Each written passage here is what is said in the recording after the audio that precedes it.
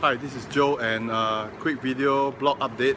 Uh, since I started the 90 day challenge, the first seven days I've been doing what you call uh, fasting.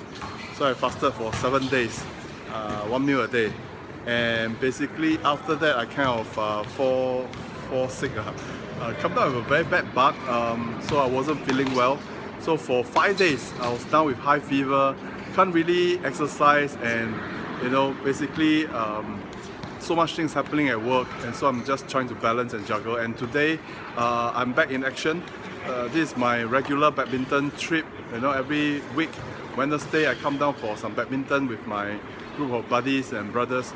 And today we are going to play some game. I'm going to shed some sweat and lose some weight. And to all you people out there the thing is this never give up. Uh, things can come along the way to distract you. Alright but the whole idea is that hey, you never ever ever ever give up because even though you might get a flu bug or something, uh, drink lots of water, get down to it. And you know, ever since the last uh, fasting, I've been more strong. I have built better discipline. I don't really feel the urge to eat uh, as much as before. So that's something for you to consider. And once again, Joseph here and of 90 Day Challenge.